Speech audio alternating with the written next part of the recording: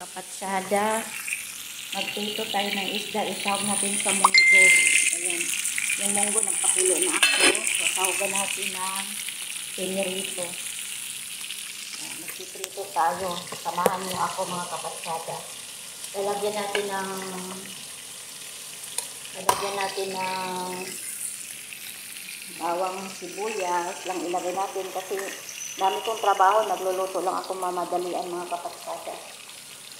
Nag-iisa na lang ako. Kailangan kong hindi magutom dahil ang gamot. Hindi na. Magluluto tayo ng ano. Automatic na luto na lang ito mga kapasada. Kasi dami kong magano ngayon. Ang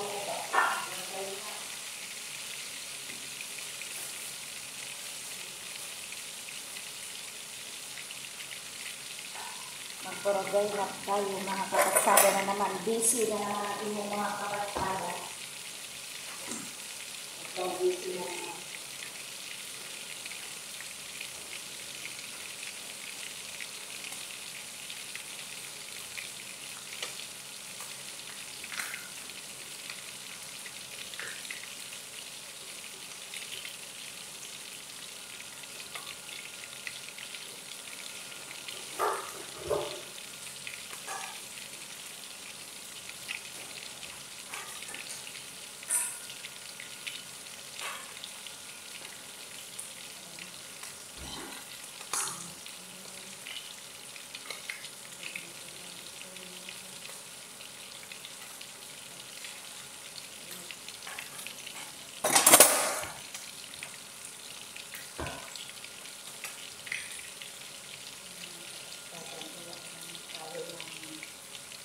Baragay na nasi. Nasi.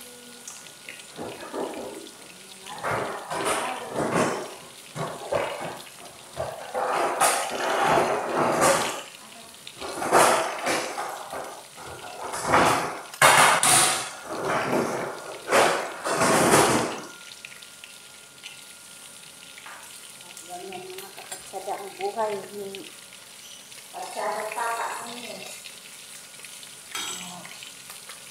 Dito ko na lang kapatsada igisa ang ano. Wala nang arte-arte kasi ang dami kong trabaho. Busy ako.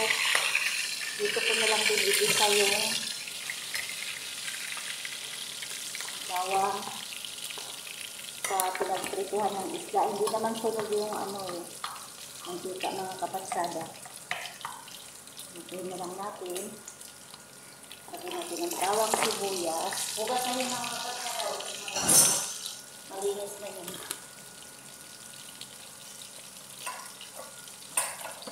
Tapos na yung mga kapatsada. Lagyan natin.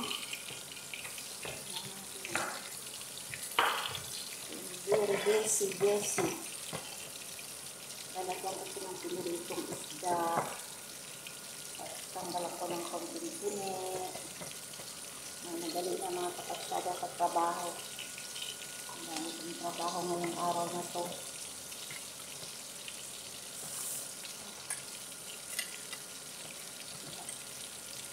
Madali na lang po mga kapatsada. Tumapit na trabaho. Sabay luto ng pagkain. Trabaho, sabayan ng luto. Sa para-paraan na lang para makakain tayo.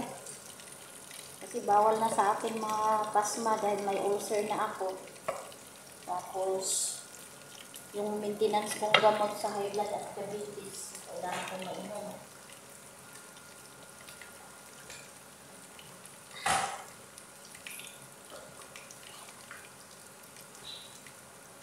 Mga kapatid, dahil polio to, ilalaga, ilalagalian mo na kasi pambalot mamaya sa ano, ginisang bigas.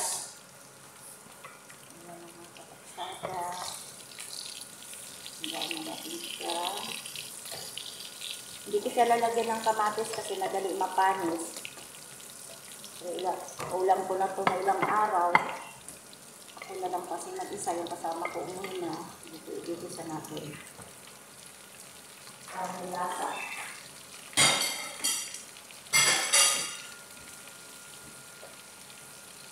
magkaroon ng lasa mga kapatsada ang ating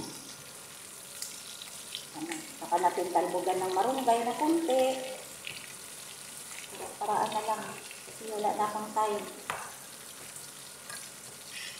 Hindi ako magluluto, wala akong time mga kapatsada. Hindi naman para-paraan.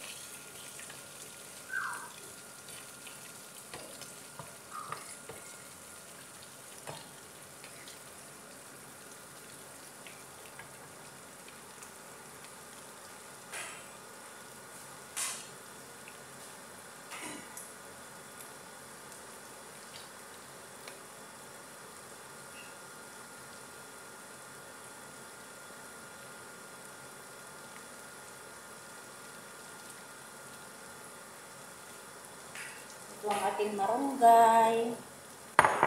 Hugas na to. Hindi eh, ko kasi nahagpat. Hinugasan ko na muna para hindi na. Ayun.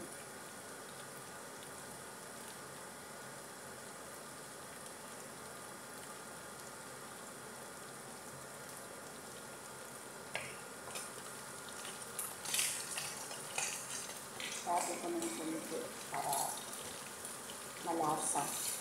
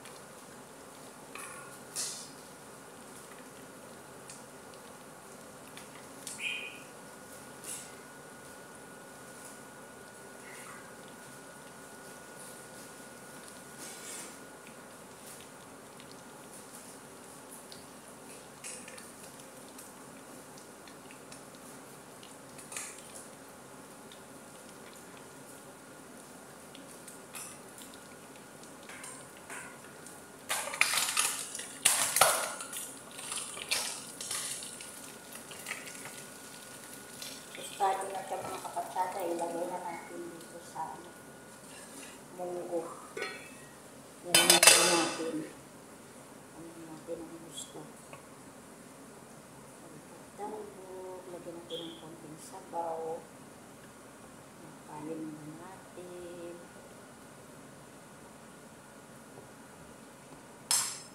Pagod natin yan.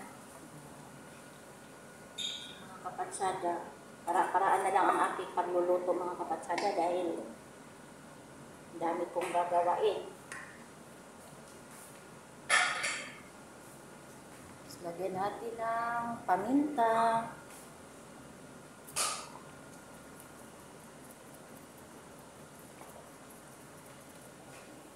Lagyan natin ng asin.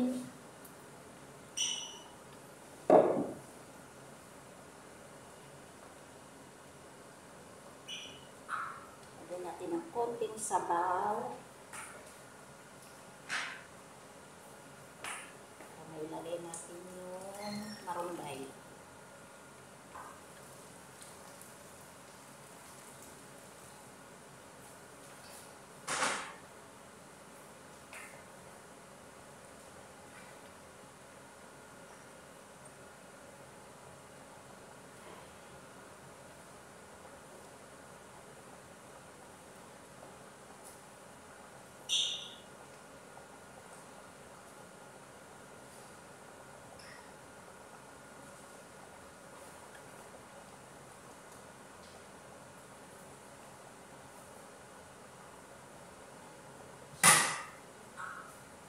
Yung munggo. Yan. Ganyan ang ano, para-paraan na lang ang pagluluto natin.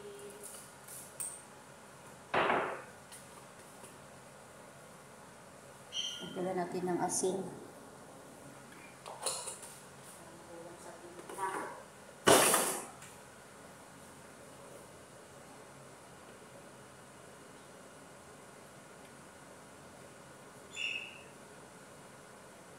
natin.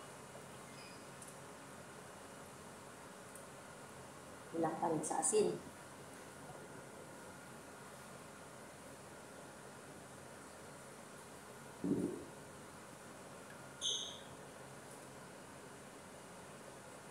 Lagay natin si marunggay.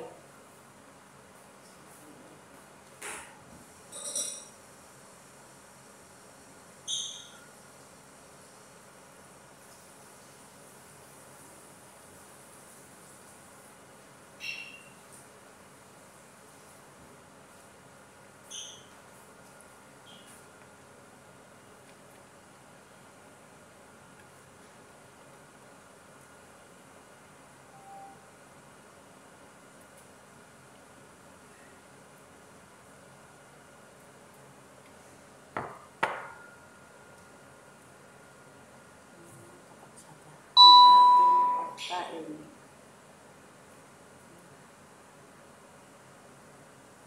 Yan. Luto ng ating munggo. Luto ng ating munggo.